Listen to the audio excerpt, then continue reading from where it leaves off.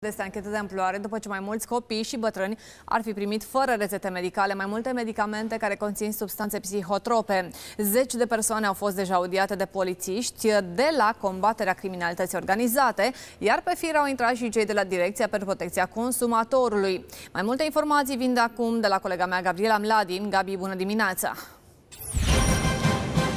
Găsit, polițiștii au primit sesizarea încă din 2016, însă abia acum a fost începută urmărirea penală în rem. Zeci de angajații ai direcției au fost audiați pentru a se afla ce s-a întâmplat. Acuzația este că angajații din trei centre de copii cu dizabilități și centre de bătrâni le-ar fi dat beneficiarilor diverse medicamente care conțin substanțe psihotrope fără să fie recomandate de un specialist.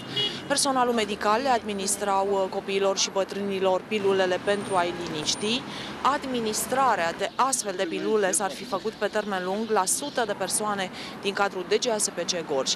Anchetatorii au audiat până în acest moment mai mulți medici, șefi de centre, asistente medicale și farmaciști.